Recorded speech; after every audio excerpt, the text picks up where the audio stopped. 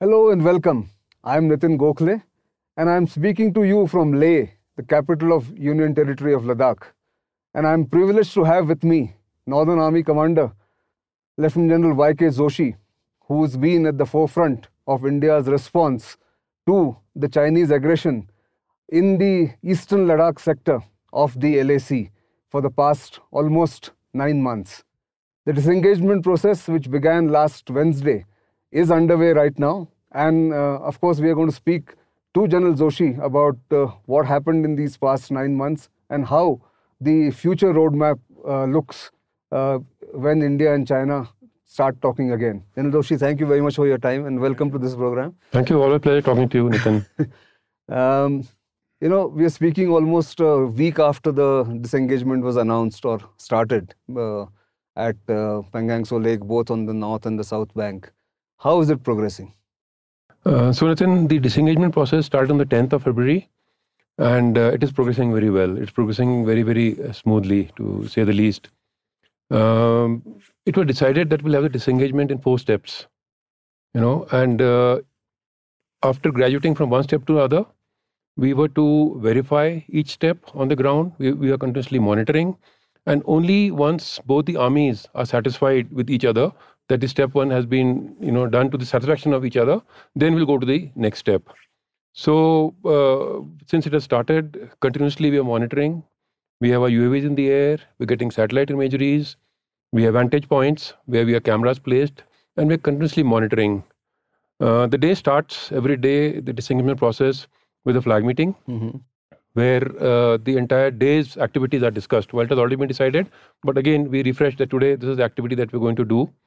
And uh, towards the end of the day, both sides send a hotline to each other, Mm-hmm. confirming that the activities have been done.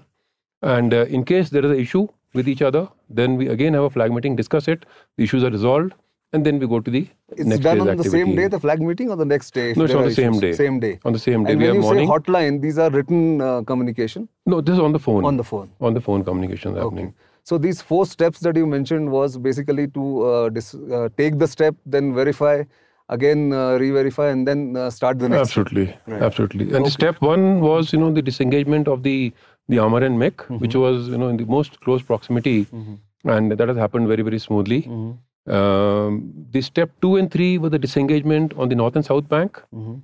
and step four is the final disengagement will happen on the Razangla Chingla complex. Okay. So that is the manner it was decided.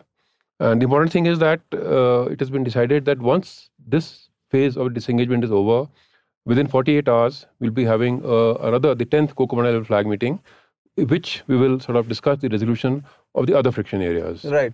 But even in the uh, first phase, as as we see it, you know, uh, the north and south bank, uh, the four steps that you described, uh, this is all written down. Basically, entire agreement is uh, for Yes. the first time in recent years. Perhaps this is written down, right? Yes, absolutely. It was written down and agreed by both sides. And then, you know, once it was ratified by the higher headquarters, Right. then the process started. Okay. So, uh, in this uh, almost uh, six, seven days that the process is on, uh, how has this uh, been done? Like you said, you know, there is also one point that I had seen in the agreement about restoring landforms. Correct. What does that mean? So, you know, uh, some areas on the North Bank, the PLA had occupied right up to Finger 4.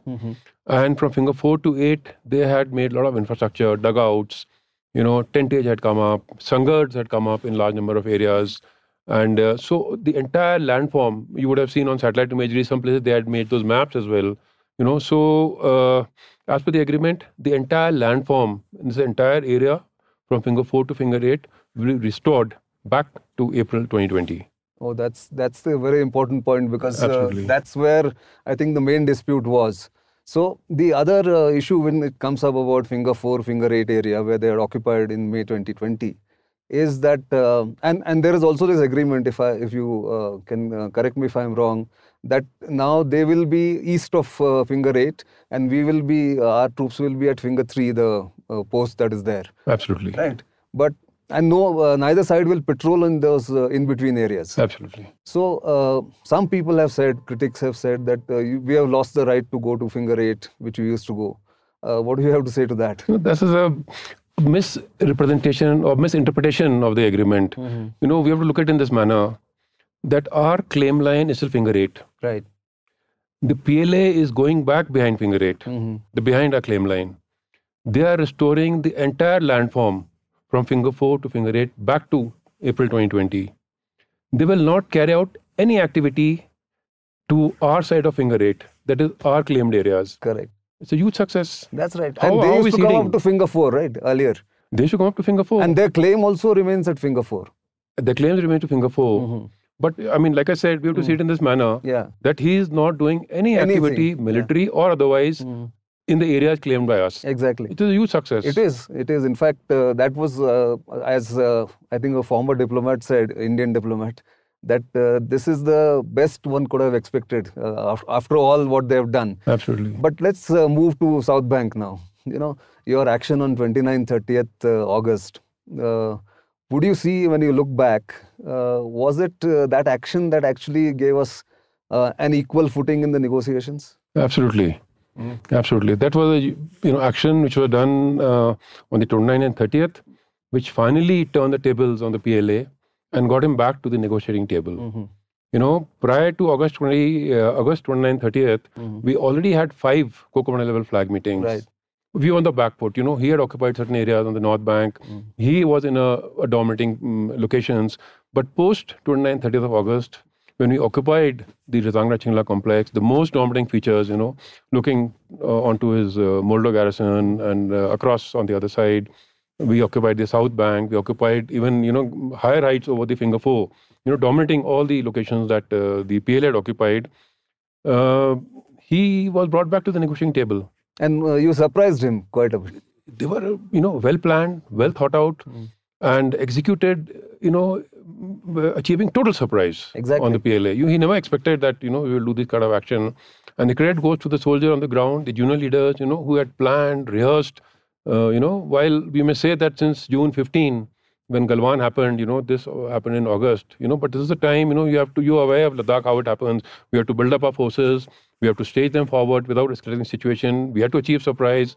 So we did a training, we did a planning, and finally, you know, the right moment, we executed this. And you took tanks to uh, We took tanks to Razangra Chinla, you know, which can, which was unthinkable actually, Exactly. um, a couple of months ago. Yeah, and it was never done before. I mean, that's the whole Absolutely. issue. So, talking, uh, continuing to talk about South Bank, uh, see, um, so that advantage you got, and uh, you saw, the, noticed a change of attitude in the Chinese uh, Absolutely. approach. Absolutely. So, uh, it still took uh, three, four more rounds. Correct. You know, he Uh, was still looking for a face saver. Exactly. and and you know finally he understood Hmm. that uh, you know we were looking at status quo ante April 2020, That's right. and we're not going to budge. Correct. So I think he realized that, Hmm. and uh, while in the next three flag meetings till the ninth Corps Commander flag meeting, Hmm. he continued to look for a face saver, and uh, then he relented. So, uh, the breakthrough came in the final ninth round. Ninth, absolutely. Okay. And it was the longest. And of course, a lot of back channels have been happening. The defense minister met and spoke. The Right. foreign minister met and spoke. And the NSAs have been speaking. Yes. So mm, it, it was a whole of a nation approach. Of course. And finally, of course, in the ninth level flag meeting, um, we So, had this Uh, resolution. also, I think they will. Uh, were they surprised that uh, we had an MEA representative in the delegation? yeah, so it was initially agreed that uh, both sides will have a rep. So the Chinese side also had the rep of the Ocean and Boundary Affairs. The rep had come, uh, you know, who handles this, and rep uh, has been there, which was a huge advantage actually. Exactly. As you mentioned, whole of government approach Absolutely. helped. So there is no uh, differences that are seen or uh, are perceived.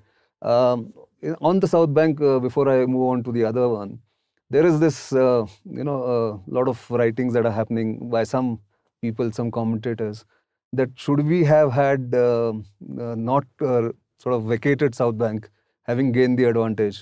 You're talking about Razangla Chinla. Rizangla, Richinla. Yeah, so Razangla Chinla is a dominating feature on the Kailash ranges.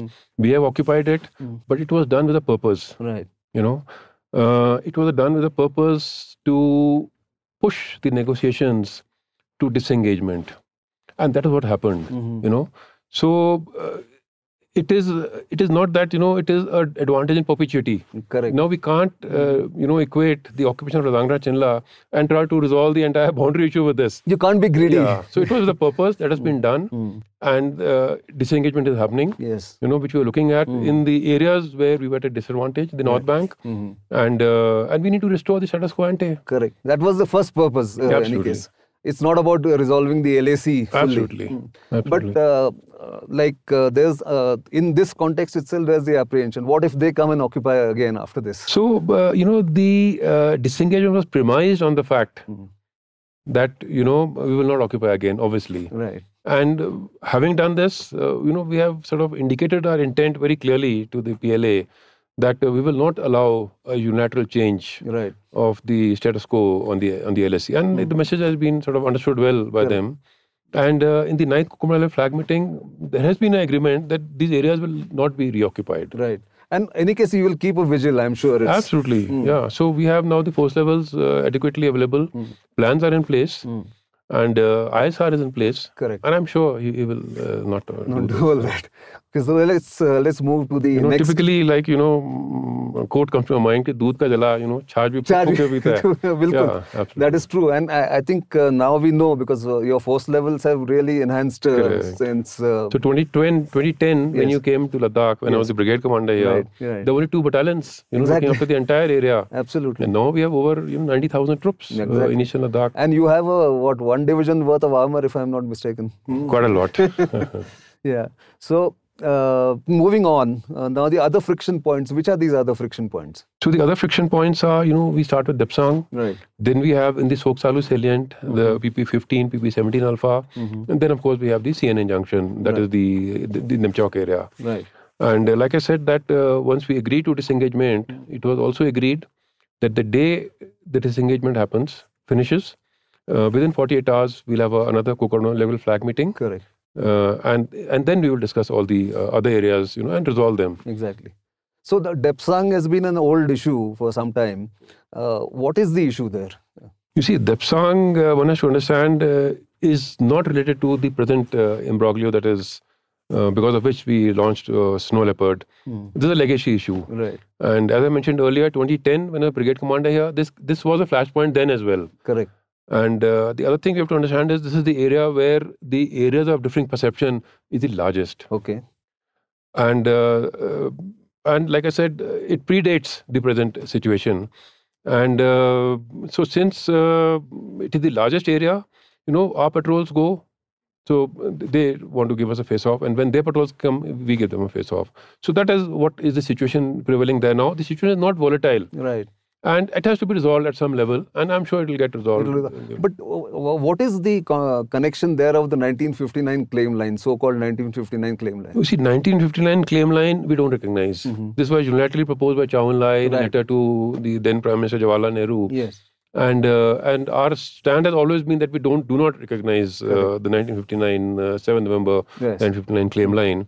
So they have been reiterating that, and they want to come to that uh, claim line, which we have not been permitting since we don't recognize that. And uh, in that area, their claim line comes up to Burtse, if I'm you know, not mistaken. the 1959 claim line was on a very small scale map. Right. So it's very difficult to exactly sort of clarify it that till where it comes or doesn't come and all It that. was, a, it was not a very serious uh, thing that India wanted uh, anyway discussed, like you mentioned. India Correct. never recognized it. Correct. That's absolutely. So what are the other, the, the Gogra and Hot Springs, what is the issue there? Uh, the issue is that you know this is also the area where uh, the sort of initial face-offs happened. The troops there are not in contact, but we want to sort of in those areas also go back to our respective uh, permanent posts, right. and so that will not take much time. I don't think uh, so, and that will get resolved uh, in Right. earlier time frame. Yeah. So let's look at some of the lessons uh, of Operation Snow Leopard. Yeah. So Snow Leopard is still continuing. Yes. It is not finished, and uh, we are compiling our lessons. But the the one thing which stands out very clearly that we need to renew our focus toward the northern borders. And when I say that, you know, in terms of capability development Right. and capability development, two things: one is infra, and second is the deterrence. You know, and action is in hand. You know, at uh, in, in in both these respects. With regard to infra, lots has happened, and lots, you know, is now happening Sure. to ensure that you know we have the requisite infrastructure here Mhm. so that the forces are able to mobilize in the given time. And with regard to capability development, you know, rebalancing has already been ordered by the army headquarters, and that will now happen. Sure. And uh, plus, of course, there are some minor tactical lessons and so many others Mm. which we'll continue to compile and uh, Obviously. yeah, push that. But uh, in terms of tactical lessons or you know of how the speed of response uh, has really surprised uh, not just the Chinese but uh, people the world over. The face-off that you affected immediately. Um there are lessons or maybe there are advantages. What has changed, you know, over these years, uh, logistics and otherwise? Yeah, so lots have changed. You know, once the intent of the PLA, you know, we were able to discern. You know, initially we were surprised Right. uh, when uh, sort of we broke all the agreements and uh, Right. came with large strength and all that. But uh, the moment the intent was clear, you know, the entire juggernaut of the Indian Armed Forces, uh, you know, got moving, got mobilized. We had the C-17s, the strategic lift, you know, Sure. totally focused towards Eastern Ladakh. And we had the Chinooks coming in for tactical lift to, you know, bring troops into the areas that were required. We had the BRO working day and night to ensure that uh, both the axes are kept open, you know, for a longer period than uh, Right. even during the heavy snowfall that was happening. We had a lot of local support, you know, uh, in Ladakh, and uh, we were able to hire a lot of local machinery, the JCBs and you know vehicles, light vehicles, etc. Sure. So the entire system, you know, it was a whole of nation Came approach, together. and uh, we airlifted, you know, thousands of tons of, you know, tanks and APCs and troops. Uh, you know, we had and uh, food and everything, otherwise. billeting, and uh, so uh, you know that is how sort of No, but that's a great lesson, I think. absolutely a great lesson. And uh, And uh, like I said, the renewed focus towards the northern borders, we need to. gives confidence. Absolutely. yeah. So, final question: What's the uh, roadmap now? I mean, in terms of uh, agreements since 1993, they've all been broken. If you really see, Yeah. and um so uh, I mean, uh, as a whole of nation approach, of course, there will be other discussions that will happen at the higher level. As an army commander, what would you like uh, to happen on this LAC? Yeah. So I would like clarification of the LAC. you know, that's that's the end result. What we're Right. looking at.